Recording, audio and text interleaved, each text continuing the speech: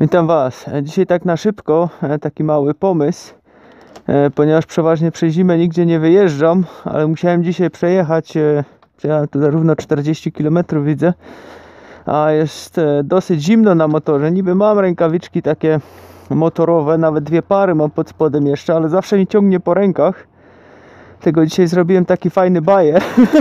na szybko butelkę plastikową na pół. I tak można sobie bardzo szybko zrobić owiewki. I można normalnie tutaj pod spód, żeby hamulca łapać. Z drugiej strony mamy to samo. Bez problemu.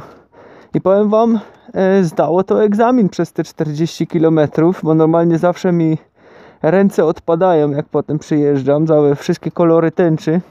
Nawet się przez to kiedyś e, tej, tego zespołu Romualda, czy jakoś tak się nawabiłem na to. Także no zdaję to egzamin.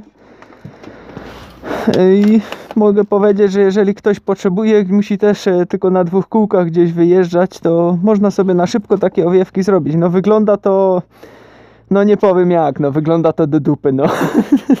no nie ma co tu się oszukiwać, ale zdało egzamin, e, palce naprawdę zostały w miarę fajnie ciepłe, także no w razie czego można, tutaj to złapałem na bokach, tutaj na tym.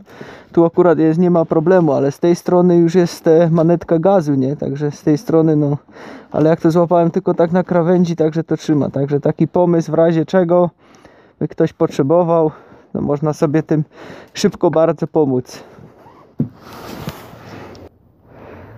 O, a tak wygląda moja żona, jak jedzie na motorze ze mną.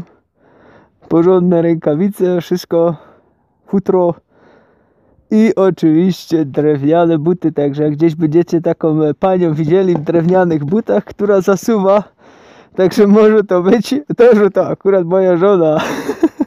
Ona zawsze lubi w drewnianych butach wszędzie chodzić. Dobra, tyle na dziś i pozdrawiam was.